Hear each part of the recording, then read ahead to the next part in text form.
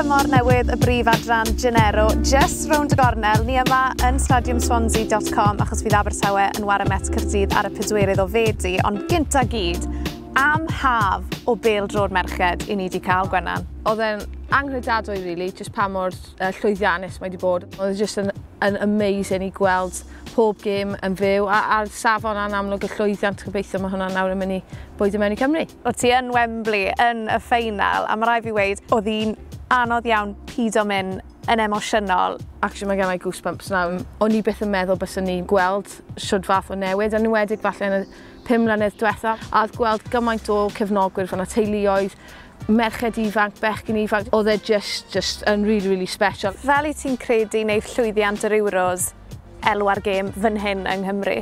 Fi credu bod e wedi effeithio'n barod achos yn amlwg mae gêm Cymru, o dau gêm Cymru yn dod lan, mae'r gêm gatre wedi gwerthu dros 8,000 o tocynnau barod. I fi, beth yw e, yw yn amlwg mae llwyddiant yn helpu i just cael fwy o sylw, achos mae rai o'r chwaraewyr yma nawr yn, yn enwog, ond mwy nag unrhyw beth bod na bechgyn a merched ifanc yn cael y cyfle i gweld gêm pildroed a bod e'n normal. Gobeithio fel wedi si bod hwnna'n mynd i parhau nawr. Ni wedi sôn am y tîm rhyngwladol, y gêm rhyngwladol, ond ni'n mynd i fod yma ar ddydd syl Abertawe yn erbyn Met Cyrdydd. Mae'n fyw ar S4C. Pa fath o dymor ti'n credu ni'n mynd i gael?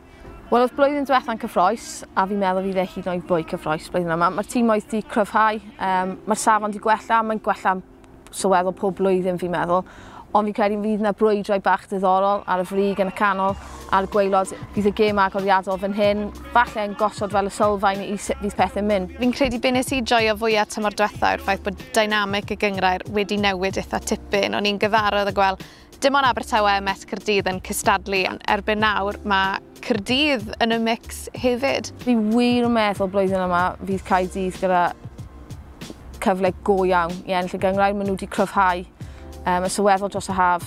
Um, mae angen nhw nawr cam i lan o ble o'n nhw'n agos blwyddyn diwetha i fod reit lan fel angyson blwyddyn yma. Achos mae yna lot o dalent ifanc anhygoel dyn nhw.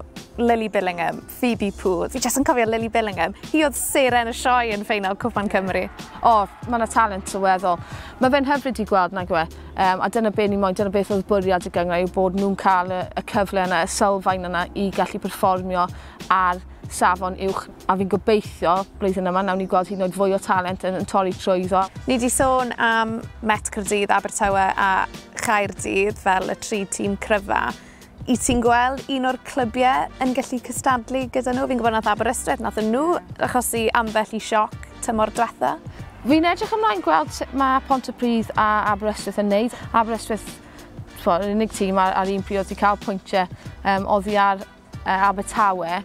A mae hwnna'n magu hyder. Mae fe yn neud rhywbeth i fel awyrgylch carfan, so fi'n fi really edrych ymlaen i gweld sut maen nhw'n neud yn erbyn y top 3 o llynedd. Un stori nes i joio oedd Emma Bynan, gath i blentyn fel doi fis yn ôl a nath i ddechrau i Abertawe yng Nghyngrair y pencampwyr dros yr haf. Am stori ac am ymdrech gan Emma. Ie, yeah, chwarae teg iddi hi. Uh, um, Mae'n digon anodd i, i cael mewn i siap um, allan o'r tymor anyway. Ond ar ôl ti cael babi, mae ma hwnna jyst yn, yn dangos pa mor penderfynol mae hi wedi bod i ddod nôl. Ni'n gwybod bod hi'n captain ar y clwb. Ond fi jyst yn meddwl bod e'n anhygol. A am stori hefyd, bod cael babi ddim yn golygu bod, bod rhaid i gorffen gyrfa. Ac o ran Met Gwenan, pwy ti'n credu yw i chwaraewyr nhw mission i gadw gadw'r llygad mas amdano? Emily Allen eto fi'n credu, um, gath i tymor arbennig o dda llynedd. A hi oedd y, y real go-to, os ni'n gweud i nhw o ran sgorio. Mae nhw'n cael fan dda hefyd, mae nhw'n chwarae pildroed deuniadol. Fydd e'n gêm dda, fel mae wastad yn, mae fe'n gêm agos Um, mae fe'n gêm corfforol rhwng y ddau tîm yna, so mae, mae fe'n ffordd arbennig i ddechrau'r gyngor. Fi'n mynd i fod yn gas nawr. Pen ar y bloc, be fydd y sgôr? O, oh, go.